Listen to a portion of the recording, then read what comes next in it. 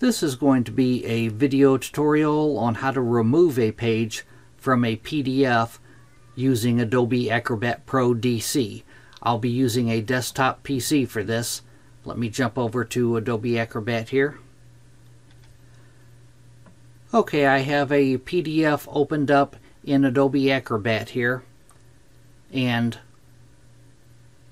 as you can see up here, it is a 10-page PDF. There's 10 pages here.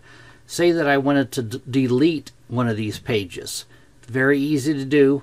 All I'd have to do is go over to the right-hand pane over here and select Organize Pages. If you don't see your pane like this, you can click this little arrow here and it should expand it.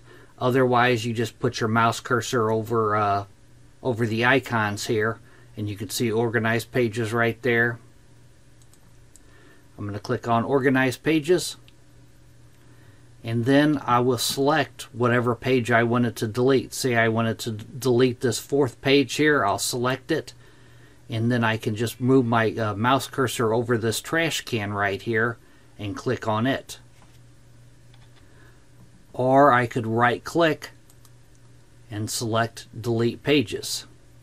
I'm just going to use the uh, trash can here to delete that page. It'll ask me, are you sure you want to delete this page from the document? I'll click on OK. And now that page is gone.